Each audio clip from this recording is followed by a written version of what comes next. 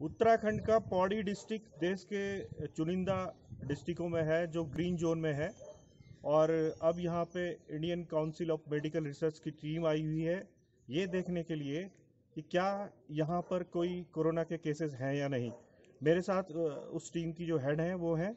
आइए उनसे बातचीत करते हैं। नमस्कार मैडम, आपका शुभ नाम क्या है? मैं doctor Ashwini Yadav, scientist from Indian council of medical research.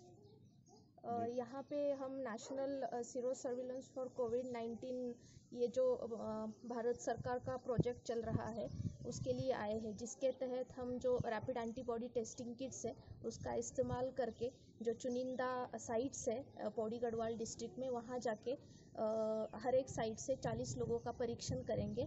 इस तरह से पूरे जिला भर में हम 400 लोगों का परीक्षण करेंगे रैपिड एंटीबॉडी टेस्टिंग किट्स का इस्तेमाल करके। जिससे हमें जो कोरोना का इन्फेक्शन असिम्टोमेटिक जिसको बोलते हैं अगर किसी के लक्षण नहीं है तो उसके बारे में भी पता चलने की संभावना है। आ, इसमें जब आप चेक करेंगी तो आ, जो सैंपल आप लोगों का लेंगी वो किस तरह से लिया जाएगा उन्हें? कोई जो जिन्हें खांसी जुकाम है या जनरलाइज किसी का भी? ये हम रैंडमली सेलेक्ट करेंगे चुनेंगे रैंडमली और जो रहेंगे उनका हम ब्लड बेस्ड टेस्ट है। जैसे हम ब्लड शुगर टेस्ट करते हैं छोटा सा कैपिलरी प्रिक करके उसी तरह से रैपिड एंटीबॉडी टेस्टिंग किट का इस्तेमाल करते हुए हम टेस्ट करेंगे जिसमें जो साधारण समय लगेगा वो 15 से 20 मिनट लगेगा रिज़ल्ट आने में। ये आप जो टेस्टिंग कर रही हैं इसका पर्पस क्या है?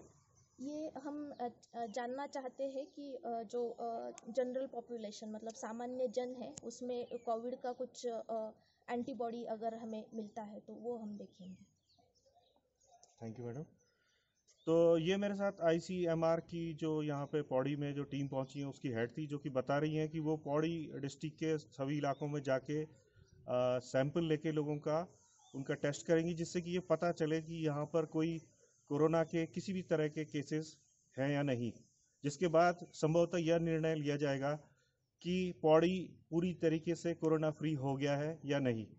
जागो उत्तराखंड के लिए पौड़ी से आशुतोष नेगी की रिपोर्ट शायद से पायलट के लिए जाना पड़ सकता है।